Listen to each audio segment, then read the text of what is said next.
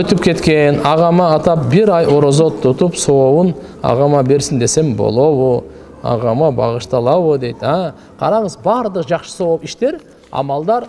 өлгөндөргө исали сабап дейт багыштаса болот азыр мисалы ушул жерде сабак айтып атабыз зикир кылып атабыз куран окуп атабыз орозо тутуп атабыз ушунун сабабы деп багыштасаңыз боло берет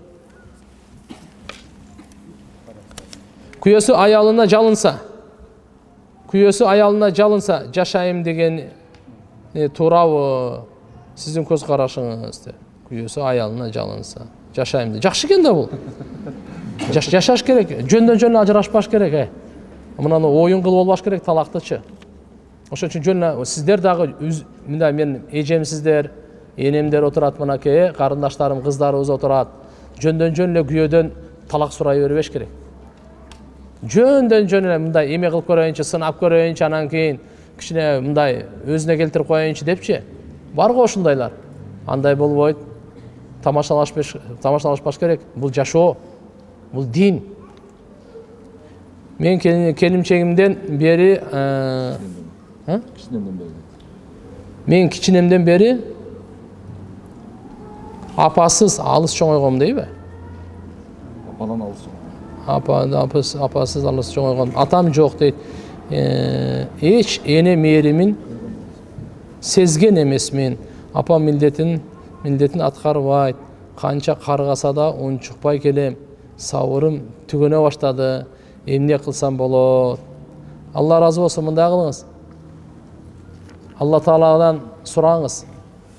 намаз окуңуз дагы зикир дуа кылып апаңызга жакшы мамиле кыла бериңиз каргаса деле жакшы мамиле кыла бериңиз жаман көрсө деле жакшы мамиле кыла бериңиз кудай кааласа жакшылык кылган сайын жүрөгүңүз рахаттанат жакшылык кылган сайын алланын алдында даражаңыз көтөрүлөт жакшылык кылган сайын кечирген сайын таш менен урганда аш менен ахсин иламан аса илейк жамандык кылдыбы жакшылык менен кайтара бериңиз пайгамбарлардын даражасын берет алла таала шейиттердин салихиндердин даражасын берет ошолор менен чогуу алла тааланы тирилтет бул дүйнө ушундай дүйнө бирөөнүн бирөөнүн жакшылыгын кадырлабай турган. Бирок эне кудай кааласа ушу эне сизди төрөгөн. Башка нерсесине көз жумуп да ошо төрөгөнүн эске алып жакшылык кыла бериң ислам дининдеги мазхабтар боюнча айтып бересизби? Жаңы үйрөнчүктөргө кыйын экен баш аламан болуп калды. Таблиги жамаат адеп башат жана башкалар. Мынандай. Пайгамбарыбыз саллаллаху алейхи вассаламдын доорунда эч кандай мазхаб болгон эмес ханафи шафии малики хамбали салафи деген эч кандай болду баардыгы мухаммади болчу пайгамбарыбыз саллаллаху алейхи вассаламдан кийинки доорлордо пайгамбарыбыз доорунда да сахабалар ар кандай фатва берип турушкан пайгамбарыбыз мухаммад алейхисаламдын буйруктарына деле сахабалар эки түрлүү аткарып турушкан мисалы пайгамбарыбыз айтты ай бану курайзага барып асырды окугула деди эле бану курайза деген бул жөөттөрдүн ошол уруусу эле ошолорго кетип атканда бул бешинчи хижрийде болгон окуя пайгамбарыбыз анан кийин кээ бирлери жолдо эле асырды окуду кээ бирлери барып окуду убакыт кеч болуп баратат эле да а пайгамбарыбыз айтканы эмне болуп атат бану курайзага баргандан кийин асырды окугула деди бирок келгенде бирөөнү да урушкан жок мындай амал кылган деле туура экен тигилер деле туура экен депчи эмнени айтмакчымын беш убакыт намаз боюнча же намаз окуу боюнча мазхабка бөлүнбөйт мисалы намаз окуйбузбу же окубайбыз деп абу ханифадан сурабайбыз баарыбыз мухаммадийбиз а эми карап туруңуз экинчиси беш убакыт намаз окуш керекпи же алты убакыт окуш керекпи э имам шафий айтып коюңузчу деп биз сурабайбыз андан абу ханифадан сурабайбыз баардыгыбыз мухаммадийбиз ханафи эмес шафии эмес малики эмес түшүнүп го эми бар. Пайгамбарыбыз амин деп ичинен дагы айткан амин деп сыртынан дагы айткан кээде колду көтөргөн кээде колду көтөрбөгөн кээде киндиктин алдына колун байлаган кээде үстүнө байлаган мисалы бул хадистер бири бири менен келип калганда ушул жерден сурайбыз о абу ханифа оюңуз кандай баардык аят хадистерди ичип алгансыз билесиз бул хадис биринчи түшкөнбү же кийинби буга кандай амал кандай кылабыз анан ошол жерде айтып берет мындай мындай мындай демек буну биз ушундай кылып туура түшүнөйлү мазхабтардын келип чыгышы бул төртөө тең хак мазхаб биздин орто азияда риваж алган ханафи мазхаб бир мазхабты карманайлы эми мына таблиги жамаат адеп башат экөө тең ханафи мазхаб түсіндіңіздер а дин таратуу ыкмалары әркімдікі өзүнчө экен бирок таблиғи жамаатты мен айтып коеюн даават жамаат таблиғи жамаат эч кандай жамаат эмес бул эч кандай уюм эмес эч кандай кыймыл эмес бул бир мээнет улуу пайгамбардын улуу мээнетинин уландысы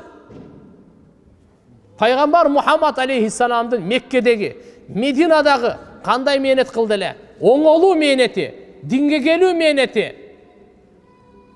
ошонун уландысы мээнет кылуунун албетте бирөө айтышы мүмкүн анда үч күн төрт ай кырк күн буга дагы жооп берип коеюн бул жөн эле наности эле бул эч кандай тартип эмес бул тахдид мындай чектөө жок өзү өмүр бою мусулман оңолуу жана башкаларды оңдоону мээнетин кылыш керек. Бирок бүгүнкү күндө мисалы кандай университетте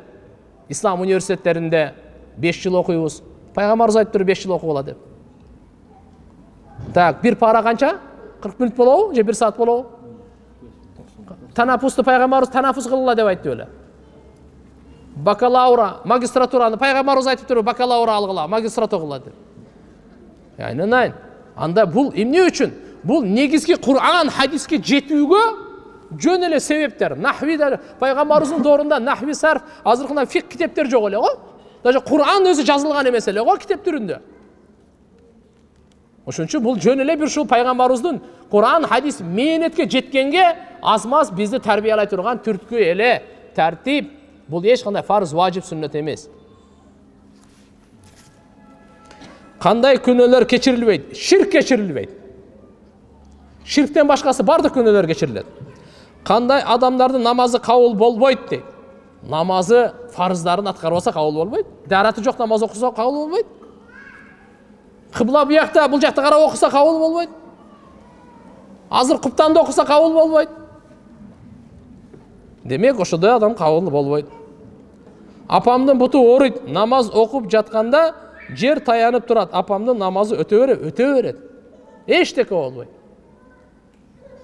Макру дагы болбойт оорулууларга жер таянып турган. Даже макру эмес